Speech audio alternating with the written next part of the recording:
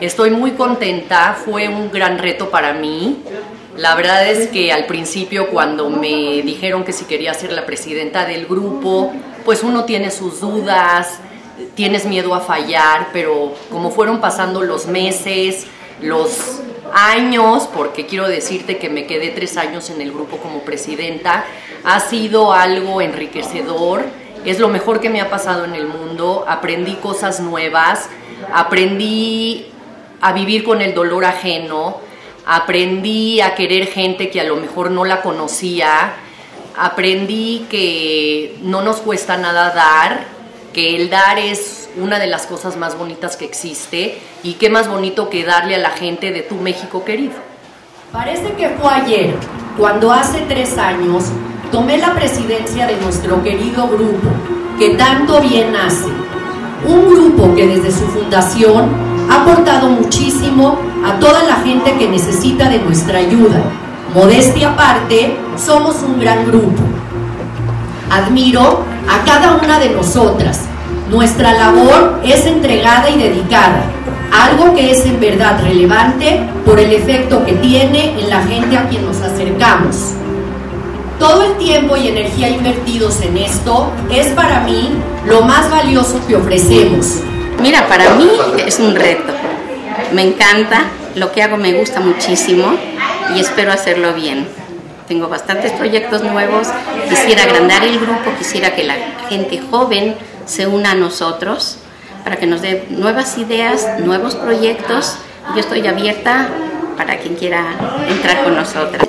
Nos acabamos de asociar en noviembre con las, del, con las voluntarias del International Congress of Jewish Women, que son grupos de mujeres que trabajan para todas las instituciones de ayuda. Y cuando oyeron de nosotras, bueno, la verdad, se emocionaron muchísimo y nos invitaron al congreso que va a ser el mayo en Praga. Entonces, tres de nuestras miembros nos emocionamos tanto que nos vamos a ir y vamos a representar a México. Les agradezco que hayan venido el día de hoy. Asimismo, le doy las gracias por depositar su confianza en mí y darme la oportunidad de dirigir este grupo, el cual pondré mi mejor esfuerzo, entusiasmo y engrandecerlo. A Lilian le doy las gracias por haber sido tan generosa conmigo, por tenerme siempre en cuenta e incluirme en sus proyectos y actividades, de las cuales he aprendido mucho. Y una de las voluntarias entró, saludó y un paciente que estaba ahí solito le dijo, yo sé que Dios existe, yo sé que ustedes vinieron a darme luz, ahora sé que no estoy solo. Y una cosa de esas pues llega al corazón. Bien, México ha sido un país bendito para nosotros. También es cierto que México es un país que requiere de muchas cosas, que tiene muchas necesidades, que tiene muchas carencias y que nos toca a nosotros, quienes hemos podido tener la bendición de Dios de acumular talentos, de acumular posibilidades, de acumular riqueza, entregar esto para la gente. Tikkun Olam quiere decir esto, y ser judío quiere decir esto. Estimados todos, Liliana, cada martes nos vemos eh, aquí cruzando. Tu labor es entrega total.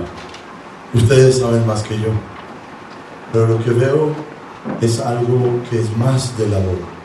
Es entrega de tu voluntad, alma, ganas, dedicación total. Este no tiene palabras. Cada uno de nosotros puede hacer su puesto, con, por supuesto con mucha sinceridad, pero agregar el un poco más es lo que uno trae a esta situación o a este puesto. Y tú definitivamente lo estás haciendo, con tu sonrisa, con tus ganas. Así lo veo porque estamos pegados de puertas. Estimadas, señores, voluntad, dar, compartir, es uno de los valores más básicos del pueblo judío al mundo. Te deseo lo mejor. Estoy sumamente agradecida contigo por haber sido mi vicepresidenta. Ahora como amiga, conozco tu capacidad, calidez humana, entrega, amor a la gente, amor al trabajo. Eres incondicional, siempre a mi lado y hoy amiga. Sé que tu trabajo será exitoso, seré tu brazo derecho, la mejor de las suertes en este nuevo vuelo.